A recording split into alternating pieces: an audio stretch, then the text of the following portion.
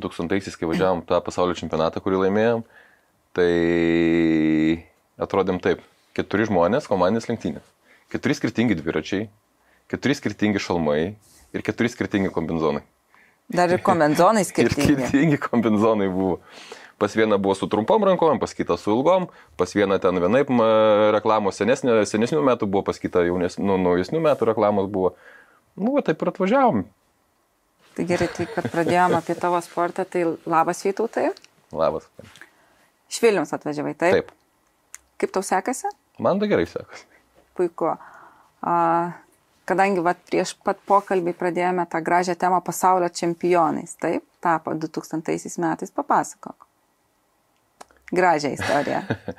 Na, e, tie metai buvo įdomus dėl to, kad e, mumis surinko žiemą Klaipėdoj ir sako, va dabar ruošiamės pasaulio čempionatui.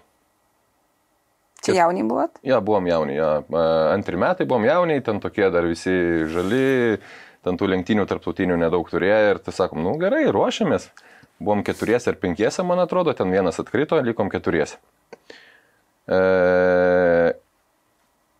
ir, žodžiu, gavosi toksai variantas, kada pradėjom ruoštis, niekada netikėjom, kad gali galėsim tai padaryti.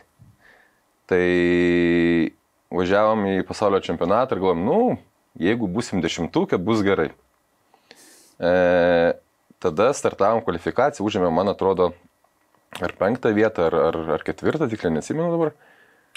Nu, jau galvom, o jau čia jau gerai, jau penktį būsim, jau bus, bus fantastika.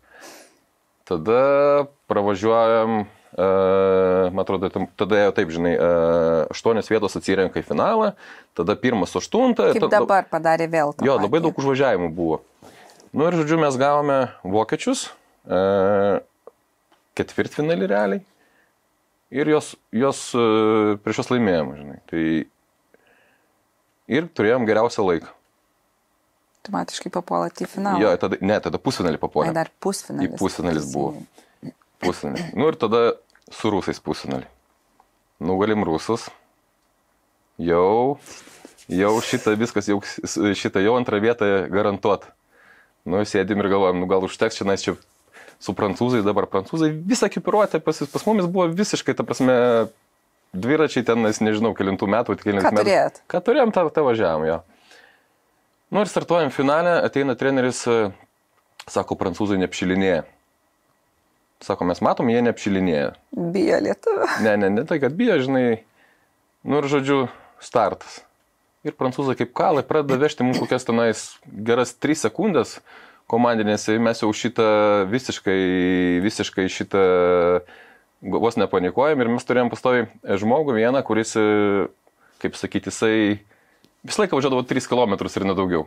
A, Kas komandoje kartu startavo? E, tai Vaitkus, Apenkinas ir Ragutskas. Tai Ragutskas pastoviai, man atrodo, per finalą jį tiesiog Apenkinas atvažiavęs iš galo, nu, ta prasme, iš galo jis įsidėjo paskui jį, žinai, atvažiavęs vidury treko tiesiog, tiesiog pastumė, sako, tu jau sako traukis, dabar jau, jau mes važiuosim. E, tai va, tai tada, kai jisai pasitraukė, mes dar pralašinėjom. Ir paskutiniam kilometrą, kai jau pradėjom lygintis, prancūzai subirėjo ir mes antėm 8 sekundės atvežėm, nu, žodžiu, daug. Tai va, tai padarėm to, ko realiai patys nesitikėjom. Koks Tai- laikas buvo? 4.20, man atrodo, bet atviras trekas, Firenzuola, betonas ir mhm. 12 val. nakties. Nes ly- Nes finalai. Jo, finalai įlyjo, jie treką su mašinom džiovino ten, nu, žodžiu, jo. Esu važiavęs tam trekė. Nu, geras Irgi naktį. trekas. jo, jo, Buvo penkiadienės, šešiadienės, kažkokios Italijos virš vėliavos. tai, ten po to, man atrodo, ėjo ir šitas e, omnimai prasidėjo Europos čempionatų ir panašiai kažkas, kažkas dar vyko, kur Tomas su, su Linu Balčiūnu buvo irgi prizininkai. Kažkas ten tokio. Gali būti. Ja, tai, va, tai gal tais metais pačiais. Tai sakai, surinko komandą, net netikėjot, neturėjot savo tokių iškeltų kaip ir tikslų laimėti. Nu, ta prasme, vis tiek visą laiką st- stovi startą ir nori laimėti, tai čia kitaip nestovėtum tam startą. Tai va, tai, e, bet įdomiausias faktas buvo tas, kad e, treneris, kai surašė planą visą, jisai pasirodo labiau tikėjo negu mes patys. Savim. nu, būna. Ir Taip. jisai surašė viską, viską, taip pat e, kvalifikacija, ketvirtfinalis, pusfinalis ir finalas ir po to parašė, nepamirškite pasimti medalių. Nes mes labai gerai buvom pasiruošę, ta prasme, tai jisai matė, ką mes, ką, kiek mes įdėjome į save pasiruošimo metu, jisai matė, kad mes galim kažką padaryti. Ir man atrodo, čia buvo vienintelis čempionatas, kai tau nereikėjo atsirinkinėti, e, kai tau, kaip jis buvo betonas ir kas mums labai tiko, kadangi jis buvo lėtesnis tas trekas, mhm. mes, mes tą galėjom padaryti. Paskui, Plus klaipėda, ai, klaipėda žiemą. Jo, bet mes klaipėda ir treniravomės, jo. Tai ir šitą Ir, ir dalykas tame, kad e, paskui, man atrodo, visus trekus, vis, visus čempionatus jau perkeliai 250 medį ir tada pasibaigė viskas. Tai va, prasidėjo tai, greitis. Jo, prasidėjo greitis. Technika. Technika kita, taip, ten, ten Frenzolai, man atrodo, kiekvienais 300, 333, jo. Jei ne 400. Jei ne 400, jo, 400, man 400, atrodo. 400, man atrodo. Tai va, tai tas lėkštas trekas kaip plentas, tai mums realiai ir, ir, ir, ir įėjo į naudą. Ant jėgos nuvarė. Ant jėgos viską nuvarė. Nors mes dabar Europos čempionatą 2015, ne 15, meluoju, 13 ar 14 metais startavome Gvadalupiai atviram treke, kad 333, ten buvo padengtas guma mhm. kažkokia, mhm. irgi savo, po 50 laipsnių saulės kaitra. Vėjukas. Yra tekę Meksikoje, Guadalajara, man atrodo, trekas buvo, ar kažkur tenais yra. Mhm tai irgi tekia yra startuoti ir 333, plus tenais 40 ant saulės, tam, tenais tam trekia kaip keptuviai, visi kaista, tai, tai ne kažką, po komandinių lenktynių tik stovi viskas jau buvo. Laukia tos nakties, kada prasidės važiavimai, kad nors saulė neplėstų. Ne. Pradėjai sportuoti Vilniui? Kas tavo treneris buvo pirmas? Taip, pradėjau sportuoti, kaip sakyti, gal ir atsitiktinai, gal ir ne kadangi mano tėvukas buvo dviratininkas, mhm. tai būdamas, man atrodo, 14 metų, niekada negalvojau, kad būsiu dviratininkas. Laikas svajojau kaip normalus lietuvis, lietuvis sakau, normalus berniukas svajojau, ta prasme, būti krepšininku. Žinai. Lietuvis. Nu, tai čia taip, jo, tai, tai va, tai yra ten ir kiemė žaisdavau krepšinį ir lankiau burelius krepšinio ir ten viską, viską.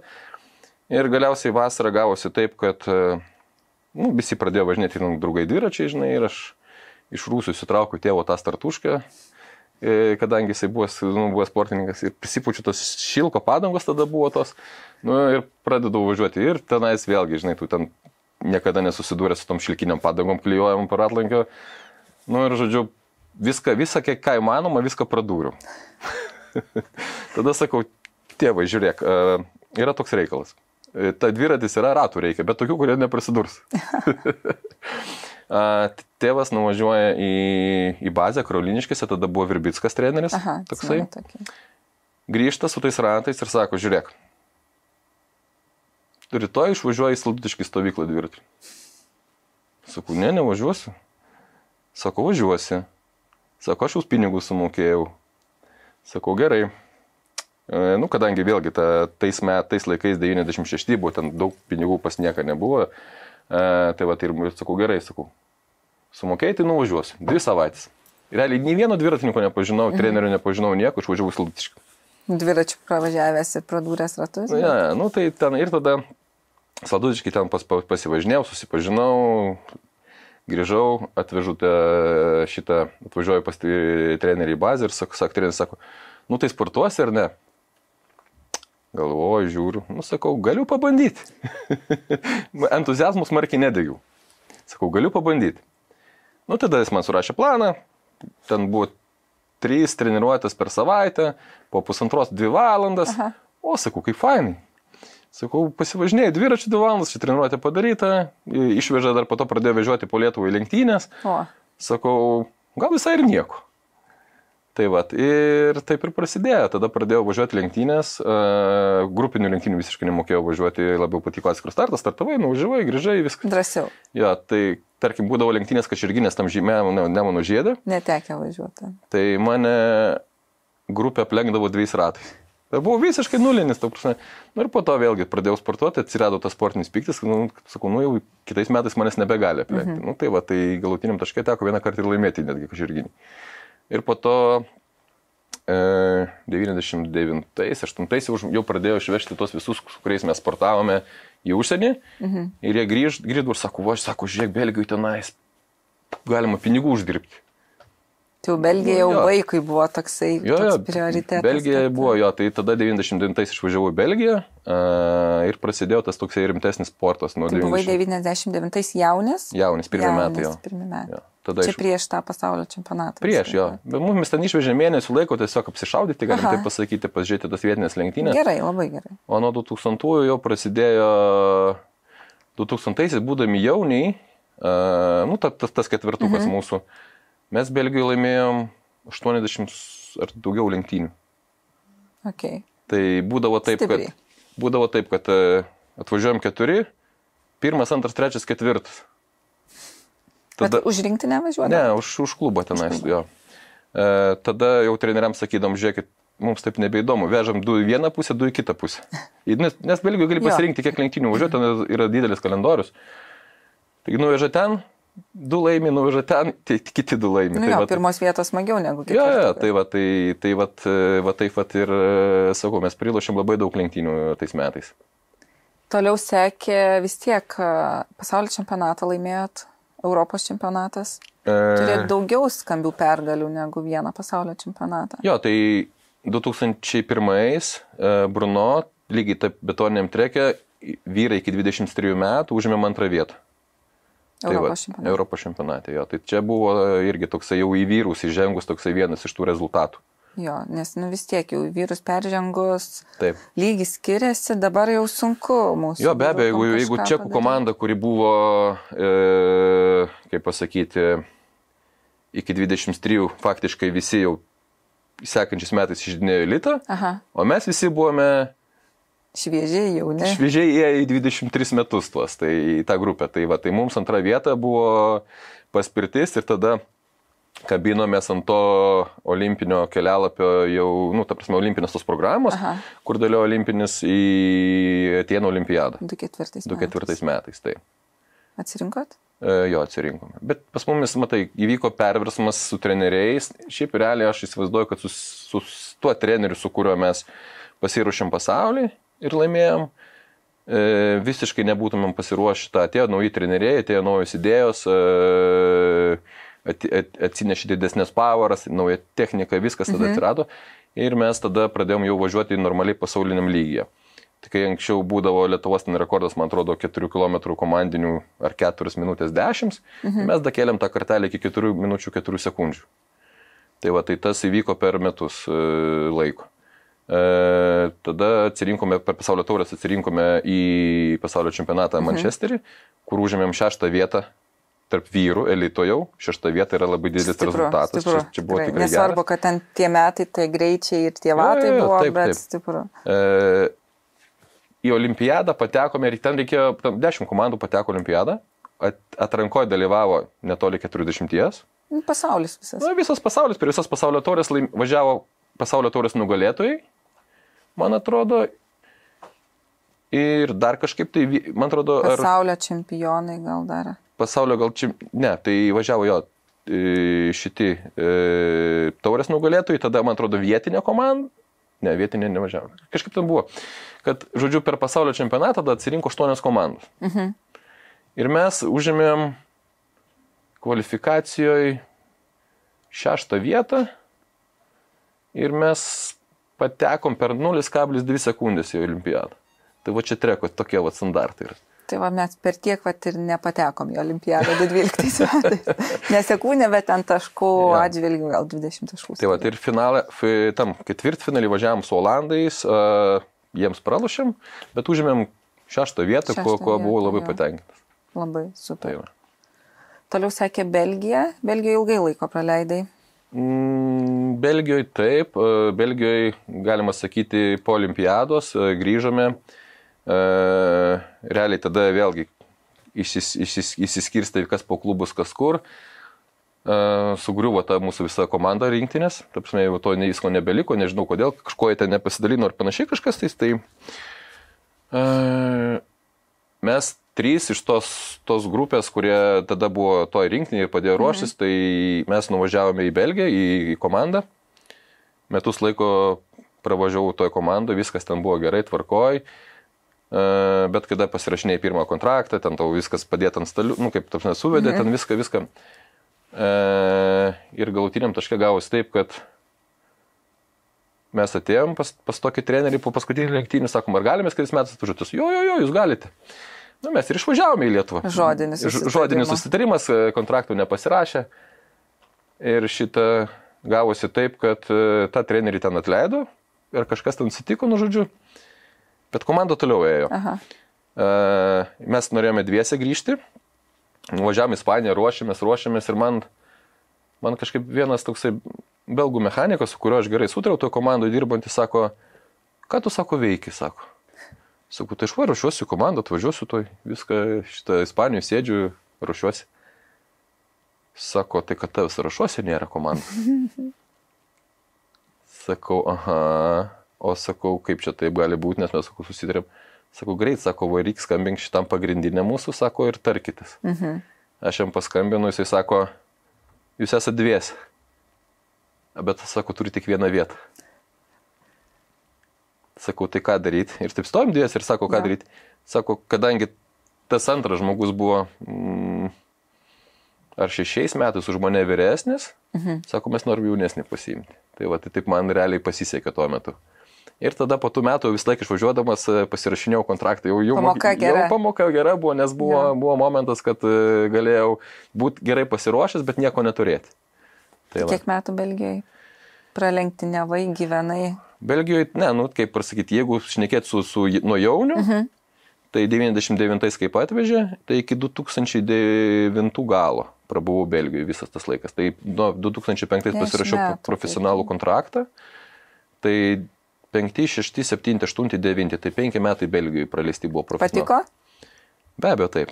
Kaip gyvenimas Belgijai? Nu, ta prasme, Lietuvoje treniravote stovyklos, kompanija, išvažiavote į Belgiją.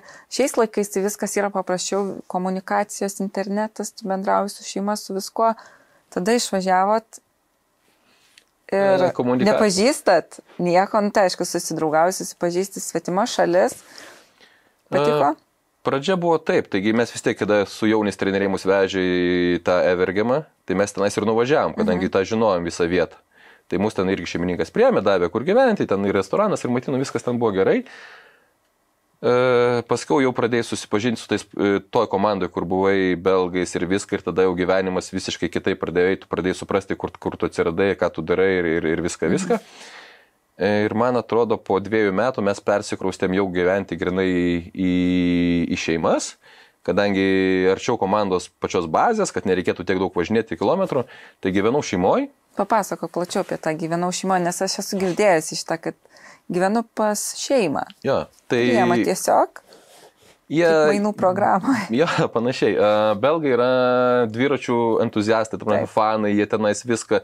Ir yra šeimos, kur priema žmonės, manau, ta prasme, aišku, ne iš gatvės, tada atvažiuoti gali su dviračiu ir sakyti, aš dviratininkas ir priimkite mane gyventi.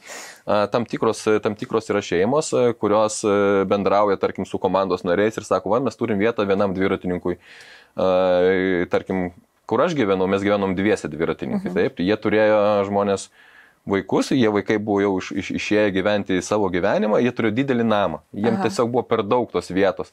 Tai mes tiesiog mokėdavom jiems už kambario nuomą ir, ir jie darydavo maistą ir galutiniam mė- po mėnesio paskaičiuodavo, "Va, tiek tau reikia dar sumokėti mhm. už maistą. Tai pusryčiai, pietus, vakarienė būdavo viskas paruošta Namuose. šeimininkės, kaip namuose, mes sėdėdavom prie vieno stalo su jais valgydavom ir, ta prasme, viskas kaip namuose buvo. Faina. Tai buvo labai faina, jo, ir tu tiesiog nejauti tokio, kad va čia kažko tau reikia rūpintis ir panašiai ir panašiai. viešbutį gyveni ar šiaip kažkokiam uždarytam, uždaryti namelyje, kur Jo, jo, jo. Tai ta pati rutina, čia vis tiek kaip šeimoje, tai vis, ir, ir ta rutina tokia kitokia, treniruotės varžybos, šeimon grįžti ir... Nu, to tiek sezono fainiau. metu realiai tai, kaip pasakyti, Belgijoje yra taip, e, buvo e, startuoja klasikai visi, mhm. tu realiai pravažiuoji visus klasikus, tuos nuo Amlopo Volko, ten Etri Price, Harelbeck ir taip toliau, ir taip toliau, Gent Vevelgiam ir taip toliau. Ir tada visi, vėlgi, tu to šeimos mažai matai, tu matai per vakarienę, tada eini ilsėtis arba važiuoji pas mas, masažistą masažą pasidarys, nu, toks, toks va ir gyvenimas vyksta. O tada, kada sezonas įsibėgėja, prasideda Prancūzijos lenktynės, tai būna, kad tu trim savaitėm tave iš, išveža komanda į, į lenkt, po Prancūziją tiesiog pa- palenktyniauti ir tu tris savaitės jų nematai. Tai, Bet vis tiek šeima buvo susidraugavo. Jo, jo, taip, taip, ir, ir dabar dar pažįstam, jo. Tai kai Smagu. nuvažiuoju į Belgiją visą laiką aplankau.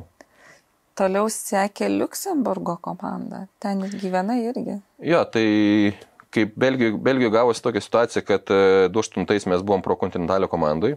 E, komanda e, rūpysėjo mėnesį sako, okei, okay, mes pasira... e, tęsim, komanda yra, turi keturis metus kontraktą, ten su sponsoriais ir viską. E, jau tada susutariau, kad galiu likti toliau. Ir galutiniam taške gavosi, kad spalio mėnesį sponsoriai nepasidalino, kas bus pirmas pavadinime ar mhm. kažkas panašaus. Ir jie tada iš visų sustabdė komandą po vienų metų. Tai va, ir e, tada atėjau pas, pas tą, pas tą mūsų, mūsų direktorių, sakau, kaip čia bus. Nu, sako, aš tave galiu dar, sako, metams pasilikti, aš turiu kitą komandą, Aha. tu važinėkis ten, daryk, ką nori, aš tau algą mokėsiu.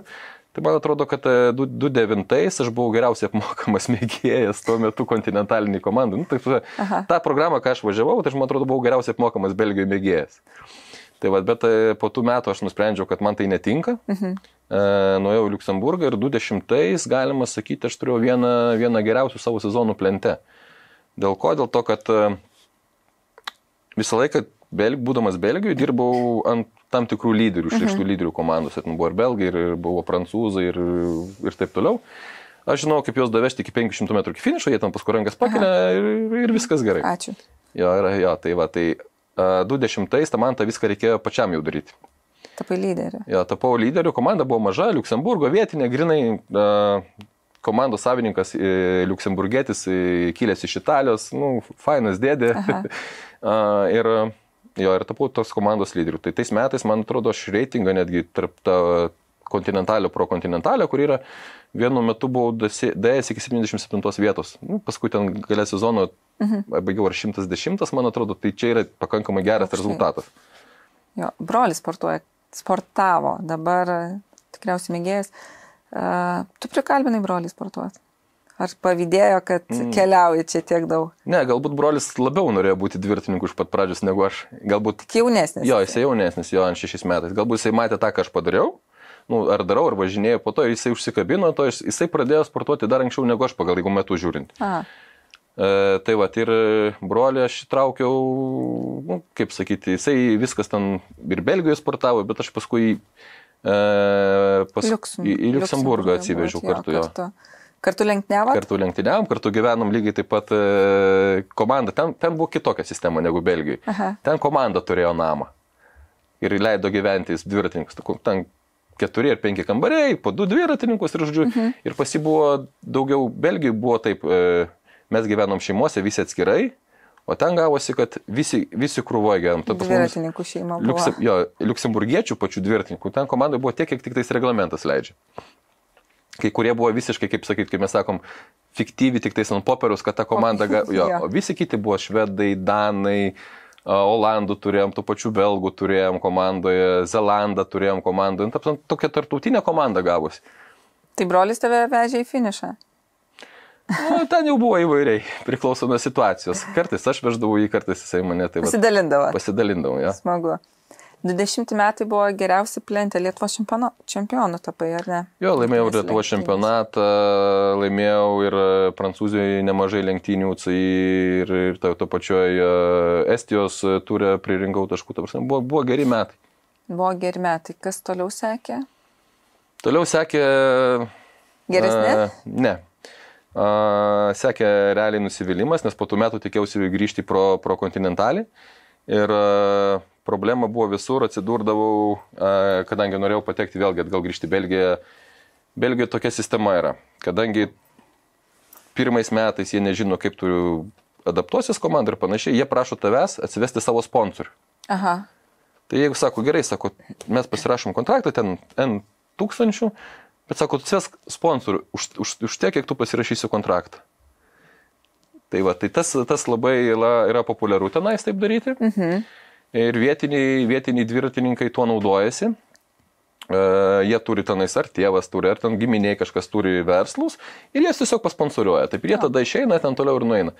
Tai to padaryti man neišėjo. Uh, ir tada likau vėl toliau ir tada jau tiesiog pradėjau, taip kaip sakyti, rezultatų buvo, bet jie nebuvo jau tokie geri, kad būtų galima kažką pasiekti. Tada susilaukim šeimos pagausėjimų. Tai žmona turėjai jau sportuodamas, kaip sekėsi ja. derinti viską. Ah. Tiek įtemptas sezonas, viską. Kartu su tavim keliavo ar Lietuvoje? Ne, buvo? Lietuvoje buvo. Lietuvoje. Jo, tai e, mes draugaujam nuo 2002, man atrodo, metų. Ai, kartu, taip, tai mes jau seniai. anksti labai. Nu, Taip. ta prasme, Nu, nuo pat tavo jo, račių sporto taip, tokio tai, klėstėjimo. a, pradžios. Ir kaip sakai, žinai, kai tu eini į barą ir nori susirasti kažką, tai niekada taip nebus. Bet kada tu išvažiuoji treniruoti ir nusuki prie jūros, taip pat taip gali atsitikti. Geras. tai va, tai čia tokia, va, Atsargiai. tokia mūsų istorija, kad tenais mes taip pat, e, nu, faktiškai taip susipažinom, netikėtai. Tai va, tai yra realiai, jeigu paimti tos aštuntus metus, kada, e, ket- ketvirtus, kada mes ruošėmės olimpiadai ir sudėjus visas dienas, kiek mes matėmės, nu, tai gal mėnesis gautųsi per metus. Per metus. Jo. Taip. Bet suprato, išlaukė. Jo, viskas buvo tvarko. Ne dviratininkė pati, aišku. Ne. Mes, kai susipažinom, sako, sako, o toks, sako, sportas Lietuvoje egzistuoja, Iš kokio miesto? iš klaipėdus. Iš Klaipėdos, Klaipėdai dviratininkų yra. Nu taip, bet jeigu tu nesidomi šito nu jo, dalyku, tai... tikrųjų, taip. Tai paskui gal atvyko pas jūs gyventi, pas tavį gyventi į užsienį. Uh, ne, nes vėlgi buvo, mes turėjom ir klaipėdo, ir būtą, ir šitą, ir, ir dirbau jau klaipėdoj, tai aš, tarp prasme, per, per atostogas mes skraidydavom mhm. vienas pas kitą ir panašiai, aš ir e, atvažiuodavau tas MTB maratonų taurės pravažiuoti, kad pabūti, nu, ta prasme, prasidėjo tas didesnis jau nuo, du- nuo 29, kada susitokėm, tada jau prasidėjo tas didesnis matymas, žinai. Jo, e, paskui gimė vaikutis. Jo, tada gimė vaikas ir tada Viktorija sako, tai arba tu grįžti ir baigi sportus, a, arba sako, aš e, važiuoju e, tiek pas tave. reikia Jo. arčiau laikyti. Taip, tai mes dar metus laiko tą e, Dominiką mūsų paauginom Lietuvoje ir po metų jinai tada jau atvažiavo ir aš persikrušiu į Vokietiją. Vokietija, okei. Okay. Sportavai? Dirbai? E, jo, sportavau ir dirbau, bandžiau suderinti du dalykus vienu. Ta sekėsi padaryti, man atrodo, e, tris metus, bet ir mhm. trečius metus jau sakiau viskas, aš jau nebepatempiu fiziškai. Ta prasme, tu turi važiuoti pro lenktynės 200 km, tarkim, kokioje nors Prancūzi- Prancūzijoje, Britanijai, tada grįžti iki Luksemburgo 1000 km mašinoje ir dar da- davažiuoti su savo mašina jau 150 km a, namo. Grįždavau 5-4 ryte, 8 val. reikia vaiką vežti į darželį, reikia pasitreniruoti ir tada reikia eiti dirbti. Na, tai čia va. kaip mūsų mėgėjai beveik. Taip, bet jie nespo, nevažiuoja tam levelį, ta prasme, yra, yra visiškai, ir tada rezultatai visiškai pradėjo eiti žemyn. E, Ir paskutiniais metais, sakau, a, buvo devinti- devi- devintas mano profesionalus sezonas. A, Sakau, tam mūsų italui, e, sakau, noriu dar vienus metus, kad būtų dešimt metų. Ir sakau, ir sakau, aš tada sakau visiškai, ačiū tau pasakysiu ir išeisiu. Gerai, sako, tau jokių problemų. Sako, jeigu norėsi, gali dar pasilikti. sakau, ne, aš jau nebenoriu. Nes mes e, labai gerai sutarėm su juo ir, ta prasme, aš galėjau dar tęsti karjerą iki tol, e, būti iki tol, kol ta komanda gyvavo. Aha. Man atrodo, ne prieš porą metų tik užsidarė. Dar galėjau sportuoti ir sportuoti sportuoti. Tai Galėjai. Va, galėjau. Ja, tai va, tai bet dėja, sakau, fiziškai jau nebepaėgiau. Gal nedėja, gal taip viskas ir turėjo būti. Jo, gal, gal viskas taip. Tai ir- dirbai dviračių. Jo, dirbau parduotuvėje? dviračių parduotuvėje Vokietijoje, e, derinau darbą su sportu. Iš to gimė gal Velonova? Vis tiek Mm. ten dirbai, patiko idėjos. Jo, iš to, Kaip gimė, iš to atsirado? gimė pamatas Velonovai, kadangi a, viskas buvo išmokta. Išmokta ir, ir žiūrima, kaip, kaip reikia padaryti ir ką reikia padaryti ir kaip sutik, ir iš kur gauti tiekėjus ir viskas, viskas iš to gimė pagrindas. Velonovas, taip, Patinka dabar tą, ką darai? labai patinka. Labai patinka. Bet čia skaitosi šeimos verslas ar tik tavo? Nes Ne. dirbate visi Dirbame visi, jo, tai čia yra šeimos verslas, taip. šeimos verslas. Šeimos verslas, bet vėlgi, žinai, mes dabar turi jau pradeda daugiau darbuotojų atsirasti. Tai kaip, kaip čia traktuoti tą šeimos verslą? Nu, tai jeigu va. dviratininkai, tai irgi savotiška šeima. Jo, jo, tai, tai mes, jo, kai mes kaip šeima visi darbuotojai, su darbuotojais. Neketinat plėstis. Žinau, kad persikėlėte jau į didesnės patalpas, labai gražiai įsikūrėte. Dėkui, ne, šiuo metu tikrai ne, yra, e, nemanau, kad verta mums kažkur tais važiuoti į kitą miestą ir Mhm. panašiai. A, tada gal mes turim Lietuvoje pavyzdžių, kad kaip e, taip atsitinka, kad kit, kitiems nepasiseka nuvažiavus į kitą miestą, tai mes esame su, su broliu nusprendę, kad e, tikrai ne, nesikelsim niekur. Padarykit tokį mažą filialiuką, nu, tokį mažytį alituje, bent jau servisą. A, Nieko nėra, tuščia, tuščia, tuščia. Tuščia, a. Baltas lapas. Mat, Šitos... Jeigu atsiras žmonės, kurie norės dirbti Lietui, tą mes galim padėti įkurti tą servisą.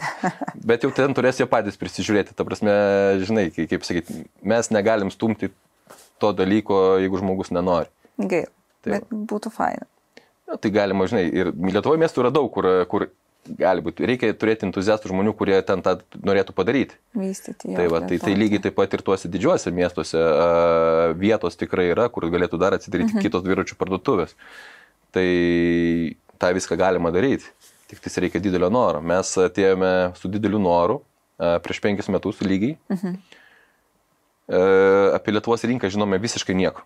Ta prasme, aš dirbau Vokietijoje, žinau, kad ateina pensininkas e, su, su, su pensininkė ir sako, man reikia elektrinio dviračio šito ir šito perkam 10 tūkstančių. Gerai. Atvažia, va- atvažiavę į Lietuvą, tada, kada sėdėjom Vokietijoje ir planavom tą visą dalyką daryti, mes įsivaizdavom, kad mes pardavinėsim dviračius po 500 eurų. Tai vad, nes mes nežinojom visus rinkos. Aha. Tai va, tai atvažiavom ir e, pradėjom žiūrim, kad niekas neperka tų dviračių pigių. Nesuprantam, kas vyksta. Sunkus. Nu taip, sunkus, jo, iš tos pusės yra. ir tada pradėjom atvažiavom į lenktynę, žiūrėjom, aha, žiūrim, Kembra važiuoja rimtais dviračiais, mums reikia rimto brendo. Tai va taip atsirado BMC, Aha. po to atsirado Specializas ir taip tada mes nuvažiavome į viršų. Ir žmonėms reikia tokių dviračių. Jiems reikia įvairių dviračių, jo. Gatvėm važinėti nori jau mėgėjai, mė- apie mėgėjus nekalbu, bet tie pradedantieji važiuoti dviračiu, jie jau žino, Taip. ko jie nori, jie pasiskaito, jie mato, Taip. mato, su kuo. Anksčiau to galbūt nebuvo, visi. anksčiau to galbūt nebuvo, tu tiesiog eidavai ir nežinodavai nieko, dabar paprastas klientas kartais žino daugiau negu tu a, būtent apie tą dalyką, nes jisai yra įsigilinęs į jį, nes jis nori nupirkti, tarkim. Taip. Tai vad jie ateina, kartais klausia tų klausimų, tu galvoji, okei, okay, aš turiu pats atsiversti, pasižiūrėti. Jo, Tai jie nori investicijos, e, ne, ne maksimos dviračiai. Taip, taip, taip. Ta prasme, pinigus, jeigu moka, jie nori jau turėti į ateitį daiktą. Protinga, faina. Tai va, tai- Kad tokia linkme pasaulis juda, Lietuva juda. Jo, tai labai smagu vėlgi, kad tas dviratizmas taip eina Lietuvoje į tą, į tą viršų. Gaila, kad mėgėjiškam lygiai jisai taip labai plačiai ir gražiai. Ehm, Šito ši, dabar sutinku su tavim, bet idėja tokia yra, kad e, tas visas, viskas atneš vaisių paskui. E, Kodėl? E, Kas gaunasi? Tas, kada aš pradėjau sportuoti, ne, daug žmonių metė dviračius ir nuėjo mokintis. Aha, Ir kas gaunasi? Jie dabar užaugo, vėl sportuoja, vėl pradėjo važiuoti. Ir Jų vaikai jų vaikai. jų vaikai užaugs ir jie tada galbūt iš jų kažkas užaugs. Uh, lygiai taip pat kaip ir maniškis, dabar maniškim 10 metų yra. Uh, jisai, aš jau nu, prieš du metus einam pas trenerių. Jisai nuėjo, tėti nenori. Ne, Gerai, nenori. namo. Einam namo. Po metų pabandėm, einam namo. Po to jisai pradėjo, tėti, aš gal lenktynės noriu važiuoti, ir tą, na, mes su juo palenktyniavom. Tenais pravažiavom šiais metais vieną kitą, vienas kitas lenktynės. Sako, tėti, žinai, aš gal ir noriu. Tai va, ir dabar jis jau e, antrą mėnesį, du mėnesius sąžiningai prasportavo. Pas kokį Pas? Juknevičių. Pas. Juknevičių. Tai va, tai mano Vilnius, paskui kai aš išėjau iš Virbiską, Juknevičius buvo treneris, tai va pas Juknevičių.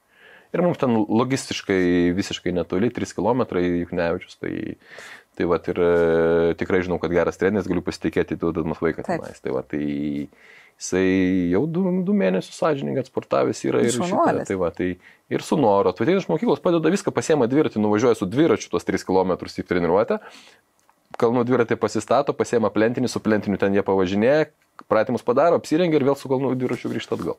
Na, šaunuolis. Tikla- Tikras dviratininkas. Pas mane vaikai atvažiuoja su paspirtukais elektriniais.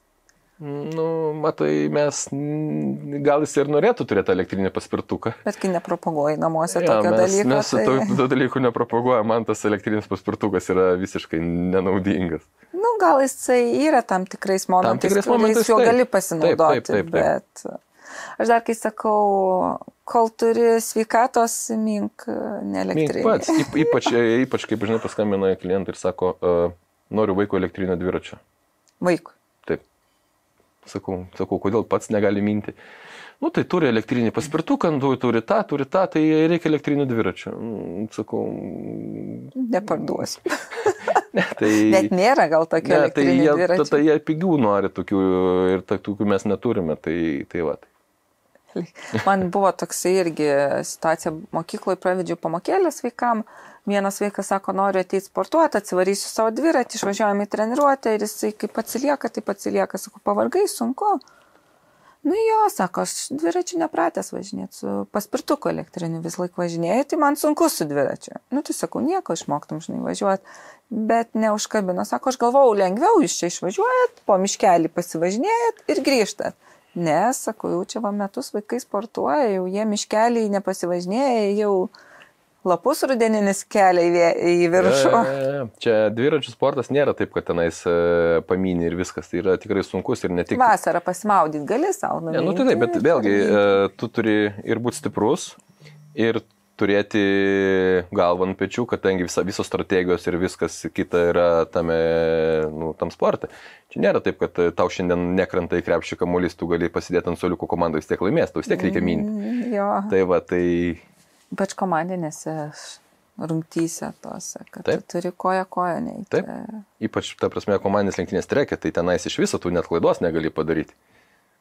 Tai va, važiuodamas vieną šalia kito ir, ir tada, jeigu viena grandis yra silpnesnė, gaunasi viskas. Žinau, Tai va. buvau ta grandis silpnesnė.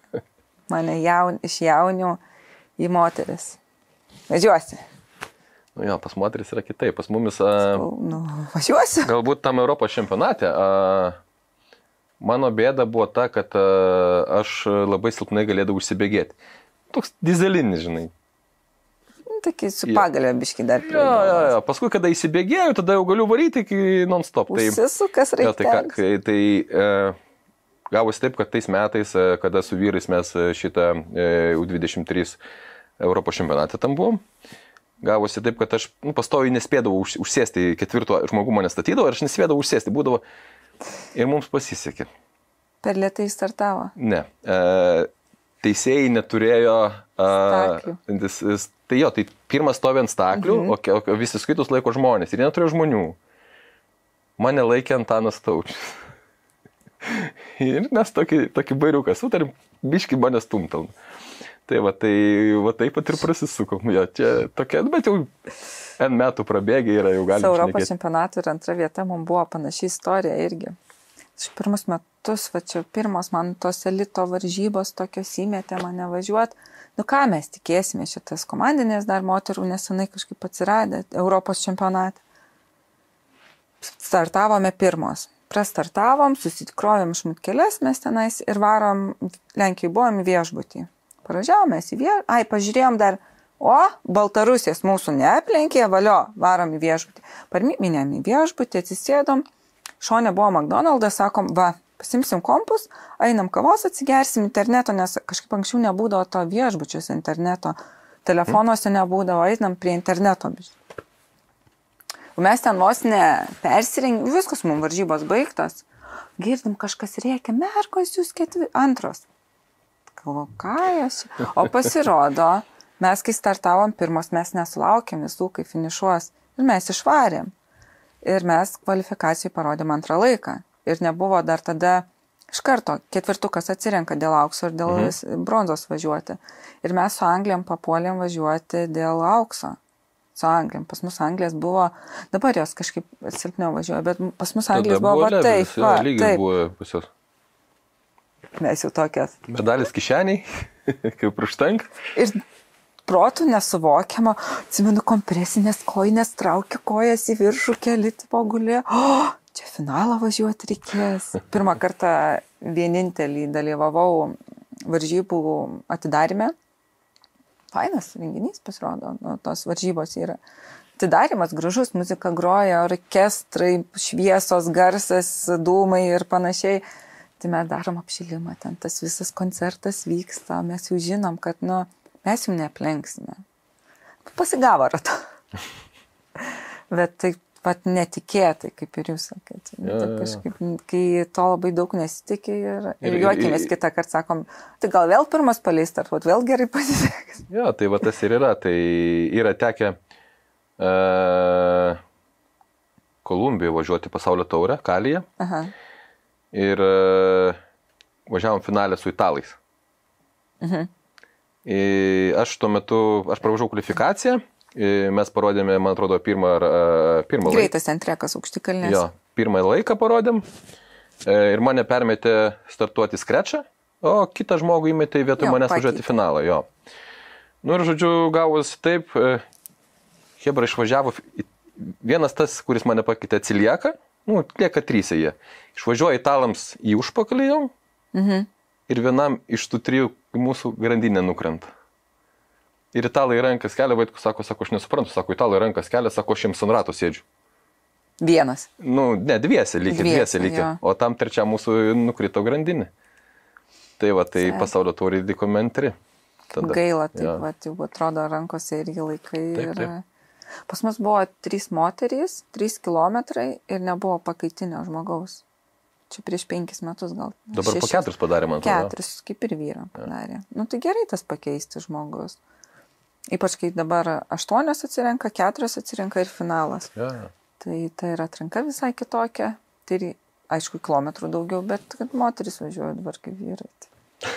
Ne, nu greičiai su 4.04 dabar jau nieko nenustebinsi, man atrodo 3.41 yra pasaulio rekordas, kur padarė italai. Vyrų. Vyrų. Tai prasme, greičiai nuo kada mes važiavom, uh, visi važiavo palei 4 minutės. Tai su 4.04 tai... Tai moterų dabar rekordas 406 ar 4. Tai va, tai- Tai va, tai ta prasme, greičiai nuo to, nuo tų du- 2004 iki dabar yra kosmosas. Kosmo. Bet Tai- ir technika viskas pasikeitė. Be abejo, tada niekas negalvoja apie tos karmikinius guolius, niekas negalvoja apie tuos a, aero visokius sūtus ir panašiai ir panašiai. Ta prasme, viskas totaliai nuėjo į, į, į greitį ir šitą. Pažiūrėk, mes sėdėjom. Ir dabar kaip sėdi. Taip, taip, taip, taip, taip. Užpakalis aukščiau už galvą. Taip, taip, taip. Tai uh, Danai per olimpiadą sugalvojo kažkokius šituos užsidėti čia nais. Taipus. Klyjavo. Jo, jo teipus klyjavo, tas pasirodo teipas, ką jisai daro. Jisai praskrodžia vėją, padaro taip ir dar tave stumia. Tai va dėl Dar to... pastumėme tai. Nu, ta prasme, taip. Nu, taip, Jo, jo. nu, žodžiu, kažką tokio su. Vieną vatą staupo. Jo, vien, nu, gal ir daugiau. Tai, uh, tai jiems leido tik kvalifikacijų, tai važiuoti finaliai liepia nusimti šitą dalyką. Tai va, iki kokių smulkmenų viskas, viskas yra paskaičiuota. Taip, aš matau, kaskės to šalmai padaryti dabar neina, jie čia išplatėja, kad kai atsisėdai sėdėsi, na, tau čia va, taip, taip. visiškai netarpelio jokio nelieka.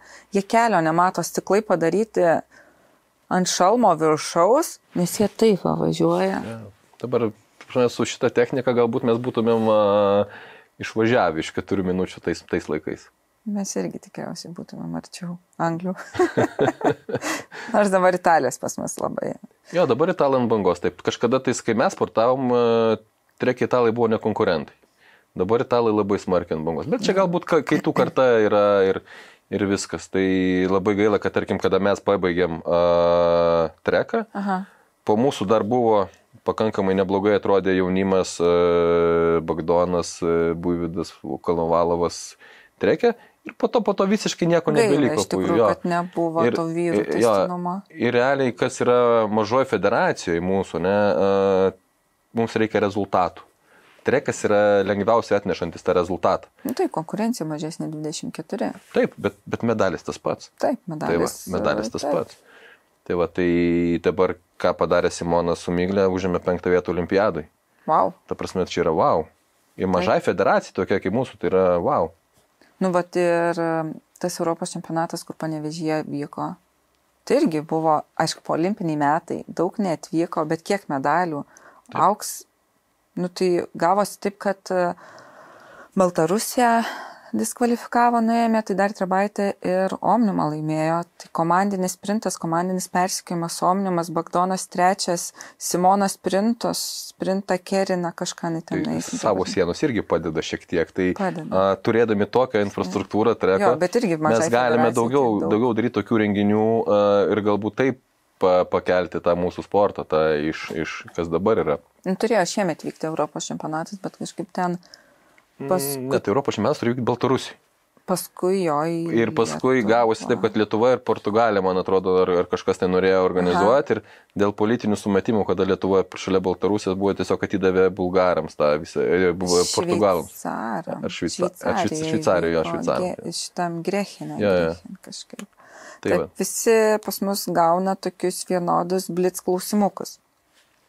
Tai vadinasi, aš duosiu klausimą, ilgai negalvojęs ten, pavyzdžiui, e, kava ar arbata, tai tu greit turi atsakyti, greit atsakyti, nes dviratininkai, dviratininkams tai visiems kava bus, tai čia to klausimo nebus tikriausiai. Gerai, galim pradėti.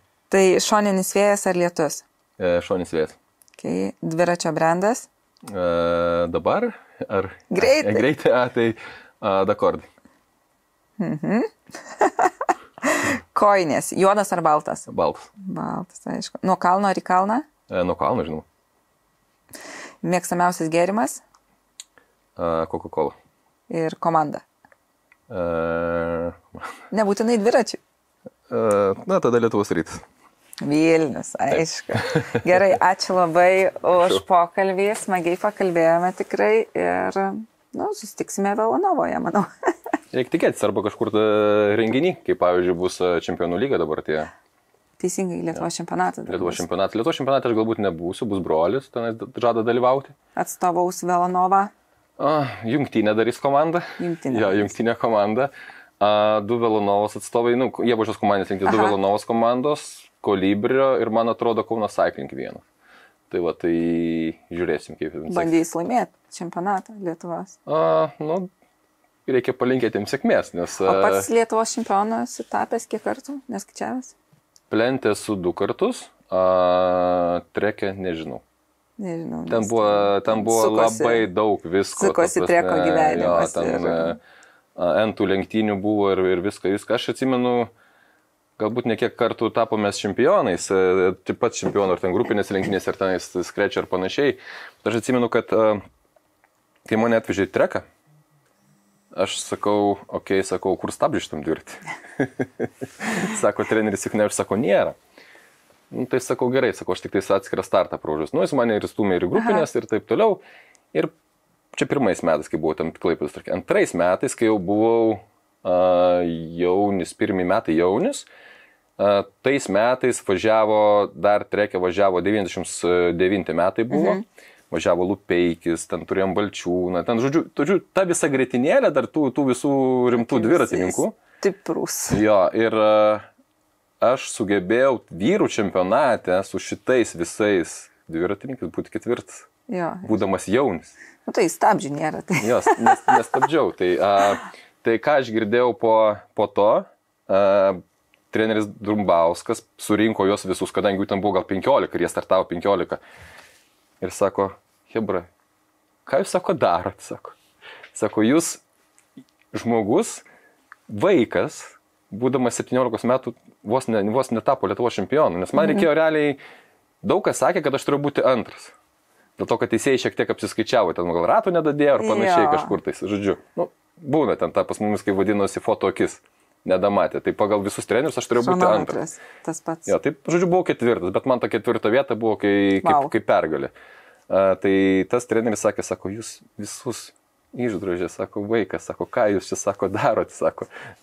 Tai Pamiršo gal, kad važiuoji tu ten kartu su aš, jais. aš labai paprastai, ta, tai, mano taktika buvo labai paprasta tose lenktynėse. Aš pažiūrėjau, kas geriausiai važiuoja, tas tik kelia, kelia kaip sakyt, užpakalį, aš paskui jį ir aš važiuoju. Ta prasme, aš nulipau nuo dviračio, atsisėdau ir galvoju, va čia taip pasivažinėjau greitai, nes dar taip greit nebuvo važiavęs. Su vyrais vis tiek jau Jo, kitas jo, lygis. Kitas lygis yra, taip, taip, taip, taip. Tai, va, tai čia tokios, tokios vienas iš tų įsimintinesnių lenktynių. O kiek laimėjau ten... Uh, Jo, kartais nepergalė yra įsiminti. Kadangi ir tuo metu Maikių nedalino, Jo, gaila. tai man reikėtų diplomus vyrižinių žiūrėti. Teisingai diplomus Bet duodavo. ką žinau, uh, pats pirmas krečas, kuris buvo Lietuvoje rengiamas, mhm. ne? Uh, tai čia kaip tik atsirado ta rungtys trekė ir taip toliau. Uh, tie treneris Dumbauskas, va dabar važiuosim taip, tenais 10 km ir pada finišas. Nu, tai va tą pirmą skrečą Klaipėdoje, kuris buvo, kurį mes važiavom, mhm. tai va aš jį laimėjau. Nu, tai va Tai va, istorija. tai va tokia va šiek Istorija. tiek. Bet aš nežinau, ar tai buvo užprotokoluota viskas. Mes va dabar įrašėme istoriją. tai va. tai va, pokalbis po pokalbio gavosi. Ja. Nieko, su, sukarpysim. Sumontuosim. Jo, sumontuosim viską. Three hours later. Aš dabar žiūrėjau pasaulio čempionatą. Tai. Taip, akis va čia, va, kaip mano vaikai pirmą kartą trieką pamatė, jaunučius atvežiau. Tai turi brolius dvynius. Tai vienas, atrodo, taip greitai ad- adaptavosi, kitas dar antrą dieną po treniruotės akis va čia ir išbalė sėdi. Aš savo sūnų buvau nuvežęs į Panevežį. Su paprastu plentiniu dviračiu. A, Dar prieš tą pandemiją, tai jam buvo 8 metai. Tai... Genuose čia. Jisai šitą, žinok, prie juodos linijos pravažiavo kelis ratus. Žinai, sakau, įsibėgėk, jis įsibėgėjo. Sakau, Dominikai, dabar aš varau į viršų, biškai, pravariau viršų. Nusileidžiu, nu, kaip tėti, davai, sako, aš noriu vėl į treką, nu, tipo, žinai, ant juodos varyti. Nu, tai mes ir nuvažiavom su juo, jisai pasivažinėjo smagiai. Dabar, žinok, reikia tokios taisyklės su šitais mėgėjais, kad jie važiuoja prie juodos linijos, o kaip tas 8 metų vaikas. Turistauja. Sakau, aš nesuprantu. Visas turistinis turi vykti virš mėlynos, o Taip. pačioj gėtaina žmonės Bet tai darbą ten, ten labai sunku virš mėlynos yra.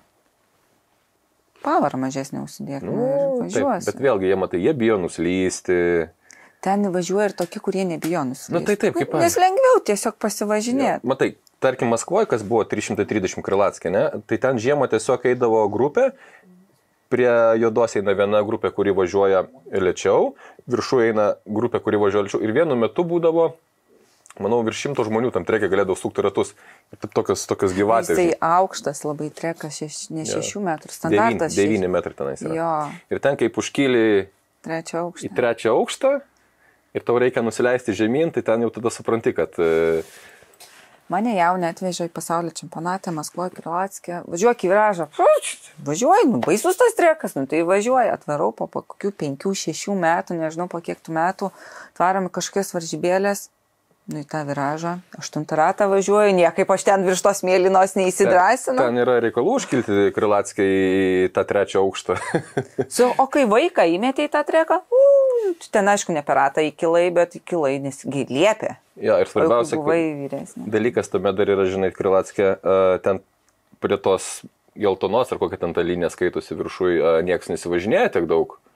Ir ten dulkių yra. A. Ten lietai negali važiuoti, nes kitaip slysi žemyn, žinai. Dabar mes ten yra reikalų užkilti. Tai omnimas anksčiau, kai būdavo pirmas ratas, tas flying lapas. Mhm. Visas ratas nuo viražo ir Maskvoje nuo to viražo. Jau čia Dima primokino, čia turi, čia greitai tikrai nusileisti. Tai ten e, 150 procentų padusau važiuojant taip, yra sunku užkilti. ten, Viršuj. Taip, taip, taip. Nes gauni pusantro rato įvažiuoti ir nusileisti. Ja. Aš, kai. Maskvoje Europos čempionatą važiavau, dabar nepamenu, kelinti metai buvo.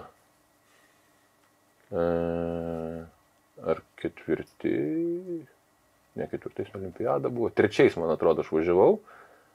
Tai realiai, kadangi buvau pasivažinėjęs Krilatskė, tai žinau, Mhm. žinai, tu atvarai iš galo, grupė ratų pasigavęs į viršų ir vėl Wow. žemyn tada, žinai, tai aš, man atrodo, grupinėse taškai šeštas, o, o, o, o skrečia, ne, skrečia, e, skrečia, e, aštuntas buvau, kažkas tokio.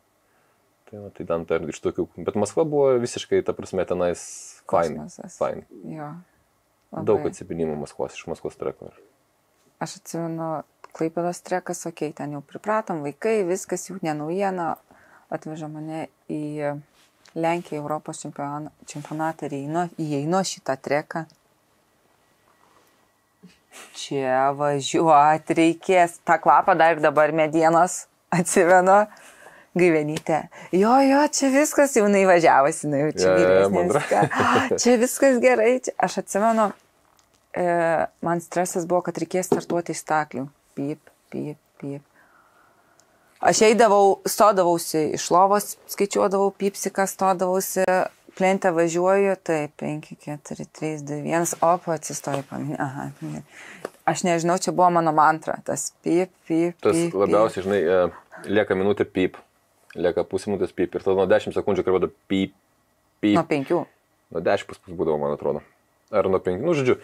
Ir toks toks jausmas, kad tos sekundės paskutinės, kaip, kaip kokia 10 minučių eina ilgai. Ir tik tada, puf, paleidžia staklis ir tada jau nieko jau nebeatsimeni, tiesiog varai pilnu tempu tada tenais. Varai, sproksta. Jo, jo, jo, jo, tas būdavo jo. Sakau, tas tie pipsikai. Nu, tai aišku, biškai sudimo paskui teko pasitreniruoti, ten tuos pipsikus, tą startą pamokino, nes ir kaip tu sakai, kad biškai primigęs, tai aš irgi tokia primigų startuodavau. Jo, jo, jo, tai, tai, tai va, tas, tas, tas momentas būdavo jo. Plentė paskui, kai išėjai iš... Nu, ta, tai pasako, kad reikia technikos. Jo, jo, reikia taip, taip. technikos. Reikia, tai realiai tu ir nei klaidos negali padaryti, nei, nei Aš kažko. Tai, neužsėsdavau ant rato, nes aš nemokėjau. tai reikia, reikia matai, ten ir keitimai, ir viskas, ir, ir taip toliau. Kai plentas atsirado, tai tiesiog stovi startė, bairius mėtai tenai, Nes N, 200 tai- km prieš akis spėsi visko ten prisidaryti. Ir tai va, tai reikia, net reikia yra kitaip. Jo, reikia eiti staigiai Staigiai ir, ir, ir tiksliai. ir tiksliai. Jo, Taip. nes kitaip bus, bus viskas. Nes tada greitis, viskas pavara, tu neturi, neturi laiko pasitaisyti. Taip. Nu dabar va. Na, Ognimas- grupinės lenktynėse gal ok, tam tenais gali, bet tarkim, tie vat sprintai, visos komandinės lenktynės ir taip toliau, ir taip toliau, tai jo, tai tenais. individualus, nu tu perdegsi ir viskas, ir esu, ir taip buvę, kad ten perdegi ir atrodo viskas gerai pasiruošęs ir viskas, nu tam startę va. Jo, Tiek nu, išdegi, kad atrodo guminiam kojam. Tai mes turėjom psichologą 2004 metais komandai, kuris irgi važinėjo su mumis visur po visą pasaulį keliavo. Tai va, tai netgi Kuri kitiem. kamera jungta. Mes ir turėjom psichologą. Tikiuosi ne tą patį. ne, ne, tiksliai neatsimenu, koks vardas jau buvo, bet, nu. Stipriausiai išgyvena. Psichologija geriausia. Ja, tai va, tai. Fanas. Kelias ramina. Bet jisai, jisai, ta prasme, po to, žinai, pradėjo per daug iš savęs reikalauti ir reikštis, tai jį tiesiog paš- pašalino. Bet šiaip tai idėjų tokių gerų šito davė, žinai. Mhm. Dirbo pas mus, buvo vienoje stovyklų atvažiavusi Lina Vaisetaitė. Olimpiniam sporto centre, jinai paskui dirbo sporto psichologija, jinai yra. Tai aišku, tas toks keistas ateini su žmogum kalbė kažką. Tas vaikas darėsi ir, ne, nu vaikas jaunė, gal antrus metus buvau, nelabai supratau, tipo, su psichologija pašnekė, bet kaip pakalbė tikrai gerai. Jo, jo. Nu, Tikrai jisai, gerai, me, mes, su, juo- mes su juo nešnekėjom. Mes su juo nešne, nesišnekėdom taip asmeniškai, žinai, va taip. vat. Uh, jisai dirbo uh, komandi, komandos kūrimu, ne? Uh, rytais eidavai, eidavai tą mankštą daryti, ten tam tikrus pratimus darydavo, tenais reikėdavo, žinai, tenais uh, Kirgizijai ruošiamės olimpiadai, nu, mhm. pasaulio torėmis sėdėjom du mėnesius jo. Tai jisai tenais visą suku- surinkdavo, sako, nu dabar ten darom tą, žinai, tai visi tavo daro tą. Jau taip komandiškai viskas gražiai išėjo. Tik tai, sakau, galutiniam taške, kaip sakyti, žinai, tas apetitas jo kilo beaugant, e, pamatė, kad jisai Pradžioj, kai atėjo, jisai reiškia, jis darė, ką nori, po to pamatė, kad jis gali daugiau, daugiau, daugiau. Aha. Ir pradėjo visiškai grybauti iš šono, tada Hebra sako, viskas, tu nebereikalingas. Gana, jau, jau viskas- subūrė komandą, Jo, jo, jo, viskas viskas jau kumštis yra gana. Taip, tai, tai tam tikrų įdomių e, idėjų e, jisai yra padaręs, nu, pasakęs, tarkim, sako, va, aš sako, žiūrėk, e, tu turi bulkutę, ne, suogienę. Sako, nu, ko, nu kaip tu pradėsi ją valgyti? Nu visi, nu tai jo, tai čia raugienę suvalgysiu ir taip toliau, žinai. Sako, ne, blogai, sekantis, kaip tu valgysi tą bulkutį? Nu tai aš va, išėlės viską. Nu, kaip ir ok, bet ne, kaip tu valgysi.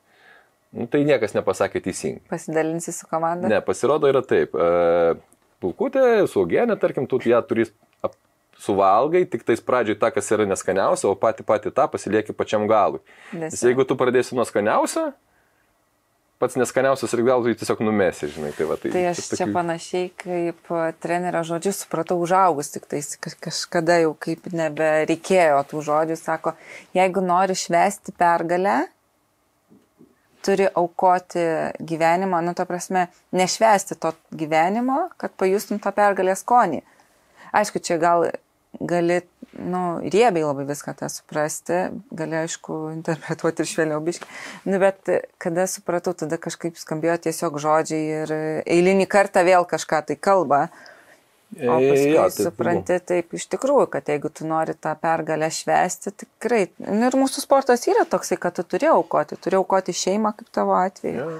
turi aukoti draugus, laisvalaikį kažkaip tai. e, E, Mums ką sakydavo treneris, sako, nulipai, užlipai ant podimo, nulipai ir turi dvigubai daugiau dirbti. Mes sakom, kodėl? Sako, todėl, kad antras, trečias norės tave visą laiką nuversti nuo tenais. Taip. Tai va, tai, tai va tok- tokios buvo pas mumis.